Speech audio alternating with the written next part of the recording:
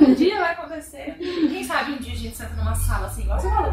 Eu sonho também. Uma sala assim, cheia de piano, órgão, e tanto de música, todo mundo tocando junto. É, sabe o que eu penso? Assim, sempre os músicos se reúnem pra tocar. Aí só os músicos. É, porque Aí só assim, uma organista lá no cantinho. Isso. Não. Tem que ter uma sala, uma, assim, gente, uma senhora sala, né? Só pra organista. Quatro, cinco órgãos, pelo menos dois pianos, porque piano É. já é mais complicado, mas É. nossa, dia que tiver uma festa dela, eu, eu acho que no céu, né? Vai ter uma festa semelhante. Meu nome é Vanessa. Sou organista, CCB faz um tempo. Faz uns, uns 10 anos. Ah, eu já contei assim, entre.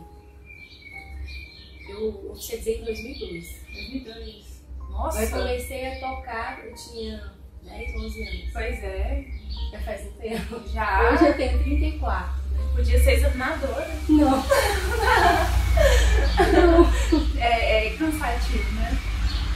É, ministério não é fácil, sabe? Ah, não é, tem a parte do ministério, é mesmo, viu? porque eu esqueço que essa questão da, da examinadora também já é um pouco mais complexa. Eu não saberia te dizer assim, tudo que é um, um examinador, sabe? Sei. Mas como instrutora,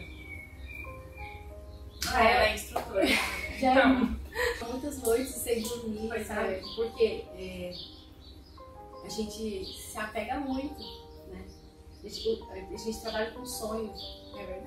o sonho de um organista. É verdade. E aí, de repente, assim, tem muitas coisas que acontecem no caminho. E eu já passei muitas noites sem dormir, pensando, meu Deus, como que vai ser? Eu quero muito que aquela menina toque. Com certeza. Então, eu acho que já tá bom. É, trabalha muita emoção também, né? Isso, e, e assim, a parte espiritual também, né? Com certeza.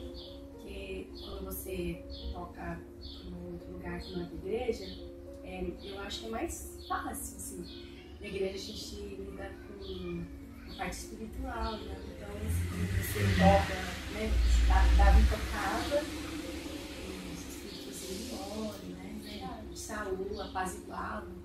Então tem toda essa parte espiritual. Quando você toca na igreja, toca na casa de alguém, ensina alguém, é, é bem assim, é uma responsabilidade. Tem que estar muito assim, firme nas coisas Com certeza. Então essa parte É, com certeza. Não, e, e só a organista, só, assim, só a organista, sem ser instrutora, sem ser examinadora, ela já carrega ali uma provinha. É, É essa. Quando eu comecei é, a estudar música, eu, eu era muito menina. Então, assim.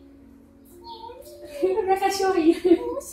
Então, quando eu comecei a estudar, era, era muito assim. infantil, assim. Tudo a minha amiguinha. Era eu e uma amiguinha chamada Letícia. assim. Era tão divertido, era tão maravilhoso. Era uma brincadeira, né? Isso. E aí foi tão rápido assim, eu comecei a tocar no curso de jovens, eu nem sei como que eu passei. Mas foi rápido, eu amava estudar, não tinha dificuldades. Era uma fase maravilhosa. E começou assim. É, meus pais, eles não tinham muitas condições financeiras, tudo. aí foi um aniversário de, de parece que 7, 8 anos. Minha mãe ficou muito triste porque eu não tinha um presente pra me dar. Sei. E aí ela orou a Deus e falou assim, ah Deus, dá um presente pra minha filha. E aí quando foi de noite, ela sonhou que um anjo e entregava um piano pra mim. Tá, eu batizei com 14 e logo eu fiz o teste. E assim foi, eu casei, fui pra São Paulo. Lá em São Paulo, eu fiquei quatro anos sem tocar, porque não tinha vaga. Nossa, quatro anos sem tocar, É. gente. Quatro anos. É muita coisa. É demais. Eu quase pensei que eu não era mais organista, sabe? Você pega assim, se tocar em casa é bom. Em qual cidade que foi isso? Campinas. Campinas. Lá tem tanta organização. É demais. E tinha uma fila de espera. Que isso. Mas assim, no caso, é porque o rodízio já tava pronto. Já. Eles não. não Já tinha 12 organistas. 12 Uhum, 12 organistas, meu Deus. numa igreja. Imagina. Mas não tinha como tocar em outra? Como- Não pode, né?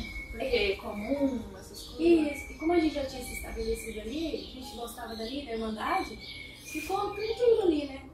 Nossa, mas quatro anos. Hoje eu- é muita É. coisa. Nossa, é muita Eu teria entristecido muito. Foi nessa época, assim, aí quando Deus preparou que, que eles me chamaram pra tocar, é, aí logo depois veio o Inário Sim, Nossa, então não tem tanto tempo assim que aconteceu isso, uns quatro anos. Acho que foi mais de 4 anos. Acho que foi mais de 4 anos que eu pensei Mais de quatro é muita coisa. Ai, nossa, que dor no coração. Dor, dor, não, meu Deus. Foi nessa época que eu, tipo assim, desliguei um pouco da música, né? Tocava em casa, mas é, eu estudava para fazer outros cursos, para profissão, né? Só que aí eu adoeci, eu fiquei com depressão. Aí depois eu comecei a tocar, eu tive que caminhando. E logo eu tive minha e voltei para Goiânia. Só que aí a música foi uma chave assim, é, uma outra forma de estar a música. Depois que dei mais cinco, depois que eu tive minha filha e fiquei doente, depressão, a música pra mim foi assim. Aí eu fui entender que era o presente que Deus tinha me. Foi um escape, né? Foi. Não foi remédio, na verdade. Você tem noção? Eu tive que reaprender. Como eu fiquei muito doente, eu abri o inário, eu não conseguia ler nada. Porque eu estava muito ansiosa, eu não entendia mais o que era seringa, semibregas, os ritmos, os ritmos, nada. Aí eu tive que reaprender. Então a música, assim, ela veio com um processo na minha vida, um processo que me ajudou a, a entender tudo aquilo que Deus estava querendo de mim, que eu voltasse para a música. Que Deus queria que eu dedicasse mais as coisas de Deus. E também me ajudou a saúde. Eu entendi meu propósito, eu conheci como, quem eu era. Com certeza. Porque assim, de repente assim, a gente se olha e fala, o que, que eu sei fazer? Eu sei tocar. Nossa, e já é, é, é. Porque quantas, quantas e quantas organistas ou pessoas que começaram ou que tentaram e falam assim, gente, eu admiro, eu olho, eu quero, eu não consigo. Eu acho lindo, eu acho perfeito, mas não entra na minha cabeça, eu não consigo. Então é um dom maravilhoso. É, e foi nesse processo que eu, eu olho agora para as irmãs que têm dificuldade, eu falo assim, é, eu te entendo. É, qual foi a sua maior dificuldade na música? Além desses quatro anos, né? Porque esse aí já, eu já teria. Nossa, muito triste. Quatro anos sem tocar. É, eu acho que a maior dificuldade que eu tive foi o Inário 5. Cidade cinco? Porque. Porque foi uma fase difícil para mim. Uhum. Então, de repente, você é uma. Eu era uma aluna que não tinha dificuldade. A música pra mim era um. Ai, maravilhoso, tudo era muito bom. Não é fácil. É. né? Aí de repente você olha assim, você fala, meu Deus, eu não tô conseguindo fazer nada. Foi muito difícil. Eu Mas foi mais pelo período, né? Foi tudo, foi tudo mesmo. Foi muito complicado. É. Aí eu tive que ir atrás de professoras. Aí nesse período eu procurei outras formas de música, né? De forma didática, de como aprender, formas mais fáceis de aprender fora da congregação. Ah, Foi que me ajudou. pra quem tá com dificuldade. hein? É, não, os vídeos tutoriais do YouTube Hoje tem, né, assim, mais. Tem umas irmãs que fazem vídeo, ajudam, ensinam, mas eu imagino que quem estudou antes sofreu demais. Primeiro porque era muita matéria, igual quando eu tinha 12 anos, provavelmente era o quádruplo do que o pessoal estuda hoje. Muita, muita teoria, muito, muito mais método, muito mais escala, não era? Hoje tá mais tranquilo.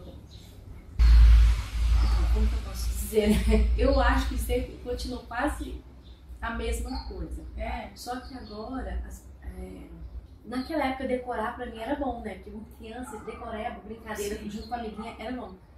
Mas hoje, decoreba não funciona mais. Não funciona. Então, tanto de coisa, o que é isso, o que é aquilo, o que é aquilo, né? tem que saber porque vem diferente, né? Isso. Agora você precisa entender bem menos coisa, porque lá eu sei que em São Paulo é bem mais, bem mais conteúdo que em Goiânia. Só que é, precisa entender mesmo coisas. Que antes as professoras só passavam para decorar. Hoje você tem que explicar, né? Fazer solfejo rítmico, fazer trabalho rítmico, fazer trabalho com a mão. Para o professor, eu- acho que hoje é mais difícil. É, Então, todo esse processo de um aprendizado mais é, vivenciando a música, você sentindo a música no corpo, sentindo a música além dos hinos, é, trabalhar devagar, eu tive que passar por isso para eu conseguir pegar os hinos novamente da forma que os irmãos queriam. Então, é, hoje eu falo que esse método, ele, ele internaliza na aluna coisas que, que ela não vai ficar estudando muito durante a, o decorrer da, da sua formação. Porque hoje, não sei você, eu tinha muitos problemas é, antes de pegar esse aprendizado. Eu tinha problema de ritmo, né? eu tinha problema de pulso, eu, não, eu às vezes eu acelerava, eu ia devagar, mesmo tocando há muito tempo. A minha postura, eu, meu irmão me mandou uma foto, eu tocava desse jeito. Era. Era. Que não tinha juízo, né? Não, às vezes foi a forma que você foi ensinada. É, não era assim, não era tão glorioso hoje essa questão, tá? Sei. Então tem menos escalas? Tem, menos escalas, menos, bastante coisas que diminuíram, agora vai iniciar. Só que tem mais conceito. Entendi. O que ficou também é muito cobrado, é tudo muito no detalhe, né? Isso, exato. E eu vou entrar então numa questão aqui. As irmãs têm todo esse cuidado com estudo, com técnica, com pulso, com ritmo, com tudo. E os irmãos não têm. Sim, não tem. É bem mais tranquilo, até por uma questão, eu acho que de número, né? Não sei. é, ou, enfim, o porquê que os encarregados não fazem esse trabalho com os músicos também. Porque, assim, não só lá onde eu congrego, minha comum, mas a gente. Não é difícil você ir congregar num lugar e a orquestra tá totalmente separada do organista. Nossa, várias vezes. É, porque assim, ou é um músico que toca muito, muito acelerado, ou muito atrasado, ou muito alto, ou muito. ou com floreio, acontece demais, tá acontecendo demais, gente. Eu Até questiono, às vezes assim, comento com minha sogra, com outra organista, por que, que será que não tem pros irmãos também esse cuidado, sabe? Porque às vezes o organista vai lá se dedica, estuda, e faz todo esse trabalho e chega na igreja e não consegue aplicar. Tá. Uma coisa é você trabalhar, é estudar individual. né? Agora eles preparam na última reunião que teve lá no Braz, para as instrutoras, os instrutores, os, os regionais, os examinadores, eles vão fazer um trabalho chamado prática em conjunto. Então, esse trabalho não era feito. Que todo mundo estudava individualmente e mal estudava com ensaio. Os ensaios, os irmãos não gostam que passam muitos hinos, né? Fica aquela cultura de o que Deus prepara, né? né? Muitos não gostam de ser culturais. Então, agora trabalhar a prática em conjunto, trabalhar essa, essa questão de é, todo mundo no pulso certo e trabalhar nessa harmonia, né? Lógico, eu acho que a orquestra é uma escola da vida, Sim. entendeu? Então, é, tem muitos irmãos ali, eu acho que tem, tem uns que Deus deu 10 talentos, tem uns que Deus deu 3. É, tem essa parte também. Isso, e, e tem muitos irmãos também que ainda não entenderam o que é uma orquestra. Verdade. A orquestra é você trabalhar em harmonia e você ler o que está escrito. Entendeu? Então, vem muitos com cultura de outras, outras músicas, música popular, que pode improvisar, que pode fazer outras coisas. E na igreja tem que ter um respeito, uma reverência. Verdade. Então, assim, falta. É, agora que esse trabalho, acredito que irmãos vão trabalhar, os alunos que estão estudando, os iniciantes, trabalharem todo mundo junto, todo mundo ali. Aí vai trabalhando essa postura de respeito com o encarregado, com o seu companheiro. Então, pouco a pouco, sabe? É um trabalho que vai demorar uns anos, mas eu acredito que vai chegar lá. Tem irmãos que ainda não entenderam a disciplina. Se você quiser afiliar, toca na sua casa. É. Faz uma tocada. É porque fica feio, né? Fica. Tem uns que ficam muito, muito. Parece que tá desafinado a orquestra, mas não é. É um instrumento que tá floreando e aí ele fica. Oh, ele fica sozinho. O último culto que eu toquei na segunda, ai, foi muito complicado. O meu também, o último que eu toquei. Foi, Foi cara. muito complicado. Nossa, tinha um violino lá, meu Deus. Carol, eu comecei ninguém a... sabe quem é. Não, não. Não, vão saber É, pelo ninguém, não, ninguém vai saber quem é, gente, mas é difícil, é organização. Menina, aí teve uma hora que eu me deu uma crise porque eu fiz uma introdução eu pensei, será que eu fiz um andamento errado? Eu também pensei. Eu pensei, será que eu tô no hino errado? Não, eu olhei pra minha mão, será que eu tô tocando com todos os acidentes certo? Imagina isso, no primeiro hino já, em cima do órgão, você pensar tudo isso, tocando, e, e o pessoal, todo mundo cantando, e o culto acontecendo, e você tem que não sabe se é você, o que, tá acontecendo. Até que eu peguei que era um violino. Ai, meu Deus, é difícil. Eu fazia um andamento, o saxofone fazia outro, e a irmandade lá atrás. Tinha Outro. três andamentos É, paralelos. Acontece. Isso tudo assim, com notas assim. Aí eu falei, ah, senhor, tá bom, tô aqui pra tocar pra Deus. É difícil. É por isso que eu é por isso que eu comento, sabe? As organistas, principalmente quem está estudando, principalmente quem que é instrutor agora, as que já oficializou, igual no meu caso, que, como se diz, parou de estudar, né? Só toca em casa e no culto. Sofre, mas para quem estuda agora e quem é instrutor sofre mais ainda. Porque você tá tentando ali, tá vendo a dificuldade e, e a orquestra não encaixa. É, na- agora com o tempo, né? Um tempinho que eu sou organista, né? Caiu uma ficha assim em mim, sabe? Tipo assim, obra de Deus. Sim. Aí eu descanso agora. Uhum. Então tem dias que eu erro muito. Eu tô bem nervosa, um dia agitado. Na segunda mesa acho que tava tão desencontrado que eu fiquei tão. Eu toquei uma introdução errada. Fiquei bem constrangida, sabe? Mas depois eu pensei, quer saber? Olha, obra de Deus, eu descansei, sabe? Porque por muitos anos eu ficava muito preocupada com essa questão.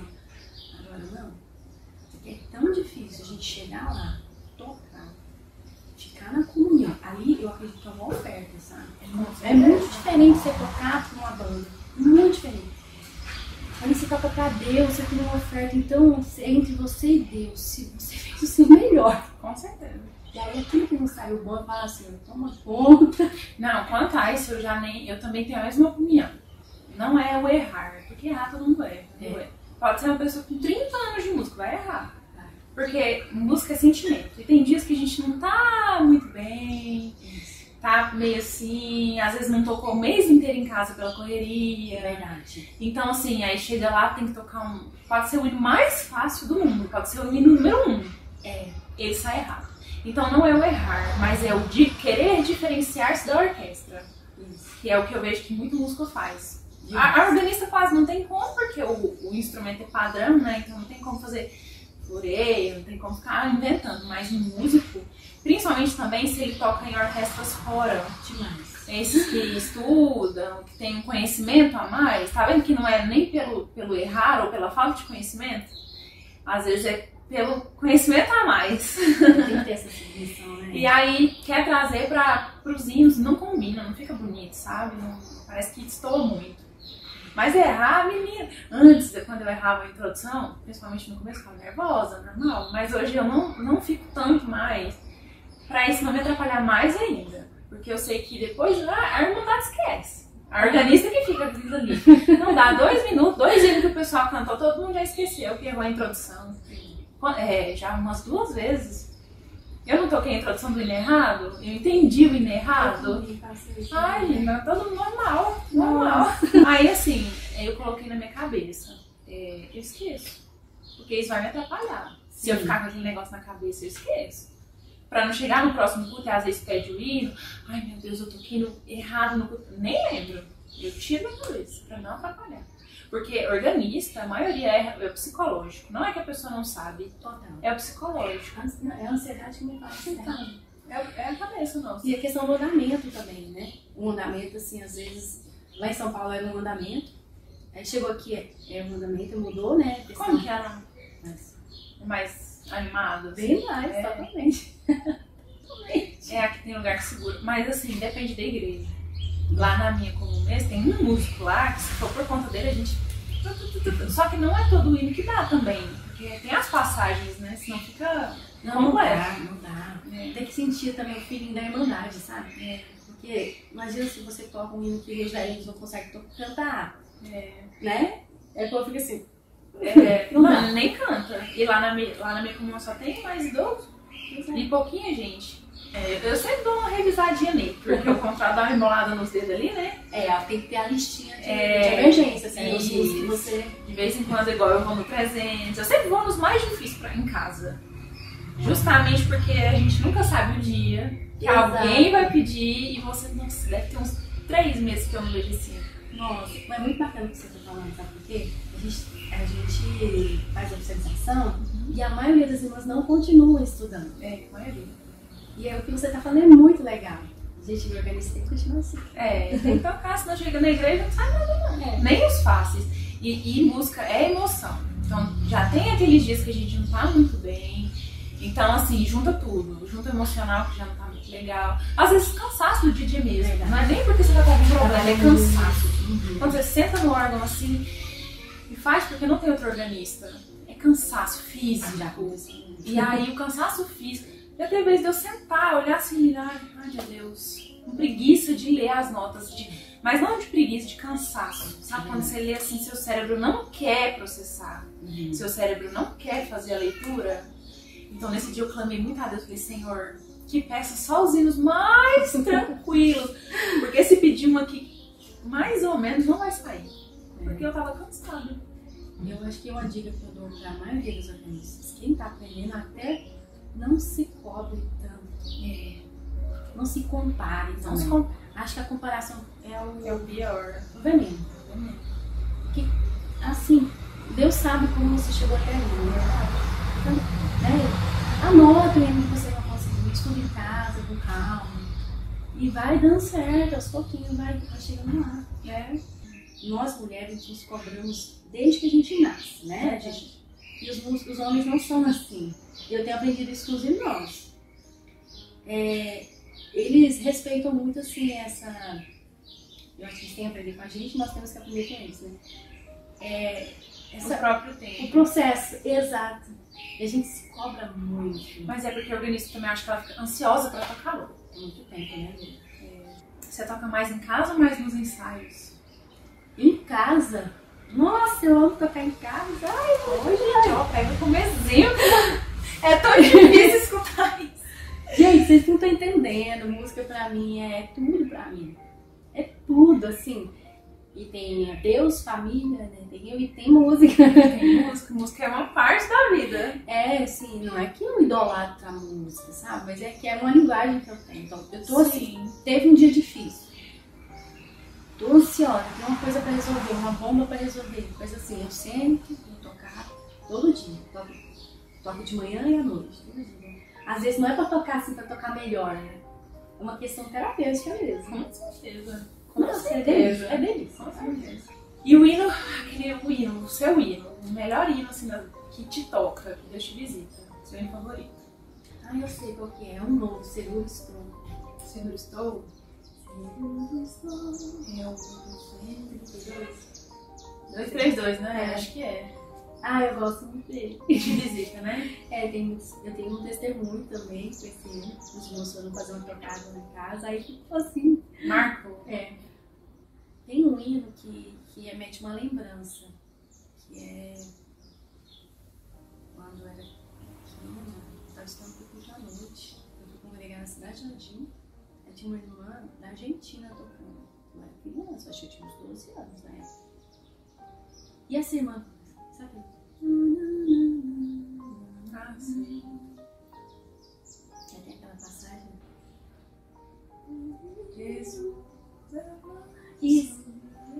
Esse. É o 33. É esse. Nossa, esse hino é perfeito. Eu cheguei em casa e falei, eu vou aprender esse. Eu aprendi sozinha. Não sei se eu toquei bem. Não, mas com certeza tocou. Não, eu, eu não, eu Já aconteceu isso de você ver hino tão perfeito, chegar em casa e, e aprender? Sim, sim, eu quando era criança, lógico, né? Mas essa irmã ficou. Não tem irmãs que passam na nossa vida, organista que deixa marca, né? Tem. Essa organista tocou tão bonito. E a orquestra também no dia, É, né? Tava tudo, nossa. tudo conversando, tudo Esse é perfeito. acho. É. Ah, essa aqui é polêmica, viu? Salta a sapatilha pra tocar na igreja. Ai, que saudade da época que tocava de salto e eu arrasava, né? Agora, porque, é, é, um, porque eu tô assim um pouco do meu peso e também, depois da minha segunda filha, o salto ficou bem complicado pra mim. E aí, eu percebi que tava desconfortável tocar de salto. Sério? Nossa, e é tão lindo, né? Assim, pra mim é normal, mas é porque tem gente que gosta como se fosse pra um, um desafio para si próprio, é sabe? verdade, é verdade. As, as alunas, as minhas amigas também estão aprendendo. As fios só mostrando o sapatinho, né? É. Eu não gosto de tocar de salto alto. Principalmente aqueles que também não são recomendados. Tem aqueles que têm pata. A meia pata. Não é, pode. muito chato. Ah, não, não pode não? Tem uns conselhinhos lá. Nunca ouvi falar. Pois é, depois eu te mando. Tem, Oh, eu não sabia. É, tem alguns, uns sapatos que não são bem recomendados que também fica meio desconfortável, Isso né? dificulta, né? Isso. É uma questão de dificuldade. Isso, porque ah, a técnica correta é você tocar com o dedão, né? Uhum, bem pontinho. É É. pé de bailarina. Ah, mas é difícil, viu? E aí você tocar com Um sapato muito alto é ruim. largo também. É, Tem uma professora do Rio de Janeiro, depois você acompanhar, ela chama Maria Patielli, tem uma no Instagram dela. E ela, nós da congregação, e ela nos ensina umas técnicas que ela fala que tem que ter um sapatinho próprio pro, pro órgão, sabe? Então, Nossa, eu não cheguei nesse nível não, na congregação, a gente é diferente, né? Mas ela diz que tem todo um sapatinho que ajuda a tocar melhor, mas não é nada elegante. é, você fala esses organistas que tocam Concerto, concerto. e eles também tocam na ponta do pé, do E calcanhar, com os dois Isso, é, tem que ter um sapato próprio. Com certeza, eu não tinha parado pra pensar, mas com certeza tem um sapato próprio. É. Cara, eu prefiro assim, sapatinho, saltinho. Então, se no dia minha roupa tiver perfeito, é aquele sapatinho, eu prefiro. Agora, se, agora tem roupa que infelizmente aquele sapatinho às vezes não combina, tá? Eu acabo indo com aquele sapato enorme. Tem que apanhar lá, né? É só diminuir o volume. E quais órgãos você já tocou, assim, e um que você tocou e falou, nossa, aqui, esse é bonito. Esse eu gostei, diferente. Ou até o seu próprio, né? esse, esse negócio não tem. E, e é algo muito diferente dá medo na gente, né? Tá. Aí, Então eu não pude usufruir. eu acho que quanto mais simples o órgão pra gente que tem essa insegurança, pra mim é melhor.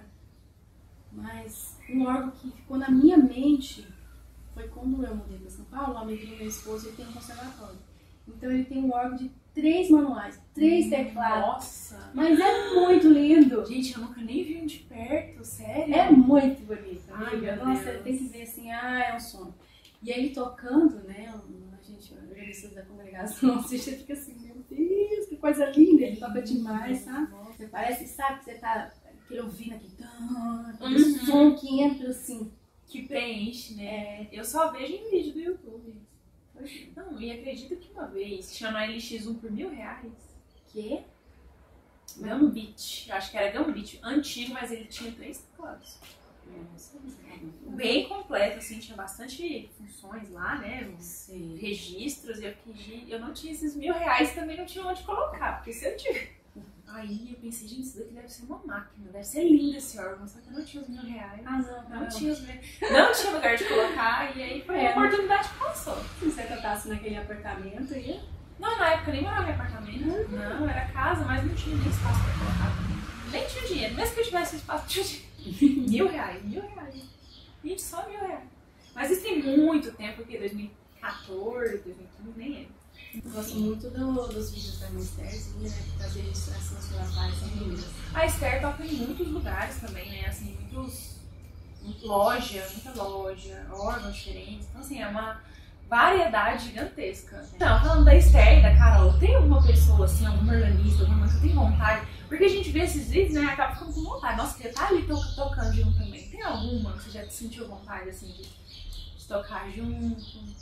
Nunca pensei nisso, mas eu acho assim, que se tivesse uma tocada, Uhum. vários órgãos, vários teclados, eu queria reunir essa essa que organizam esses tops aí, e aí pra gente tocar junto, é muito bom. Legal. Tem, a, tem uma que chama Daniele. Ai, ela toca também com a Esther. Enfim, ela faz, ela faz esses arranjos e disponibiliza.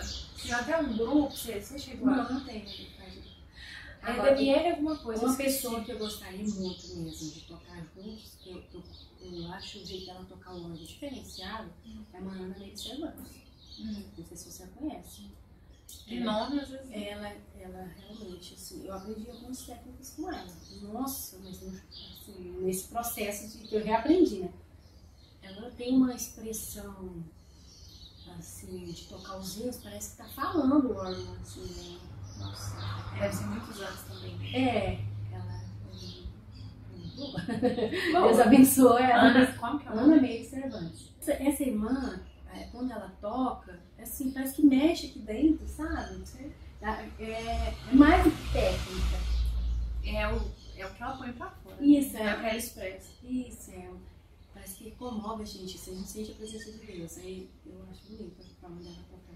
Com certeza. Tem a, a Carol, ela também eu acho muito bonito. E essa Daniela também.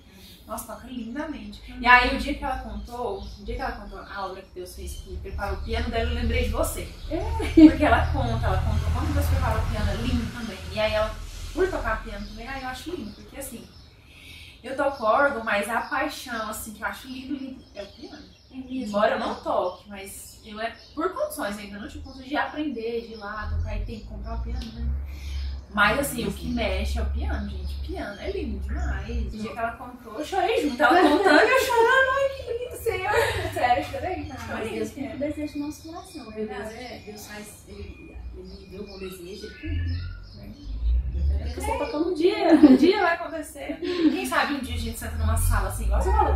Eu sonho também. Uma sala assim, cheia de piano, órgão, e tanto de música, todo mundo tocando junto. É, sabe o que eu penso? Assim, sempre os músicos se reúnem pra tocar. Aí é só os músicos. É, porque Aí só assim, uma organista lá no cantinho. Isso.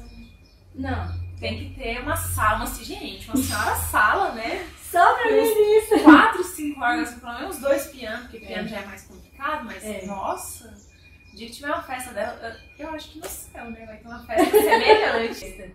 Mas se eu tivesse a oportunidade, eu gostaria de tocar flauta doce. É, flauta transversal. Eu peguei um pouco de flauta doce pra aprender. E aí eu tô nessa, pra eu vou pegar a flauta pra estudar. Porque Porque gostou e amou, né? demais da conta, é muito lindo. Então seria flauta. Não, mas eu conheço muitas irmãs que tocam outros instrumentos, muitas mesmo. E é linda, eu também, é outra vontade que eu vou, se Deus preparar, fazer uma tocada de irmãs tocando outros instrumentos. Ai, oi. Eu quero estar lá. né? Conselhos, assim, pra, pra gente finalizar esse vídeo. Conselho que você queira dar, que você queira passar, uma experiência, alguma coisa que você queira contar pra gente. Continue, persevere. Com certeza. Persevere, porque toda fase tem o seu desafio, né? Toda fase tem o seu desafio. Mas coloque o foco em Deus. Sim. É, Você tá ali para louvar a Deus. É uma oferta e derrama muitas bênçãos na nossa vida, compare-se. A partir do momento que você coloca um instrumento dentro da sua casa, é um investimento que vale a pena cada centavo, porque a paz entra na sua casa. Né? Você também é, desenvolve uma, uma habilidade, você desenvolve essa parte espiritual. Reúne a família para cantar, então persevere, não se compare, seja humilde. e você vai chegar até lá. E no fim nós vamos entregar esse talento para Deus. Ó, grande. Com certeza. E é isso. Ela é tão doce, gente, que eu fico constrangida.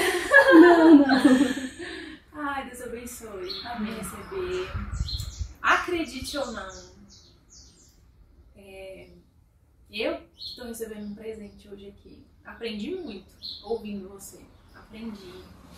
É, porque as dificuldades vêm, normal. Todo organista vai passar. Não, não, Gil, se você quer um desafio, seja organista. E aí é, é muito bom ouvir de outras pessoas, trocar experiência com outras pessoas. Lindo, lindo, lindo. Em 277, né?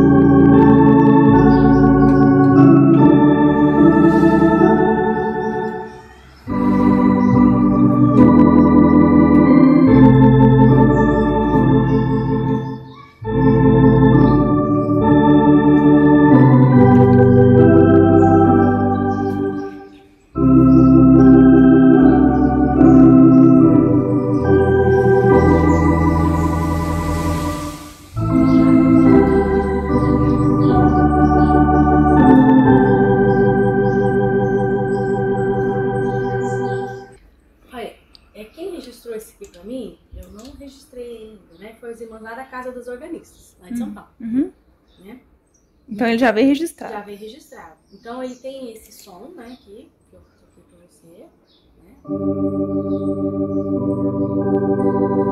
Aí tem esse aqui. Nossa, perfeito. Ai, que chique. É, é muito lindo ele também. Lindo. Aí tem esses aqui que eles são igual você falou, que eles misturam? Esse aqui é mais metalizado, né? Sim. Esse aqui já tem a flauta e o violino. O voice, né? Com voz. Nossa, é lindo também. Né? Eu sou suspeita porque eu gosto de todos os sons. Ai, É muito lindo. fica parecendo, mas não é, que é muito lindo, gente. É.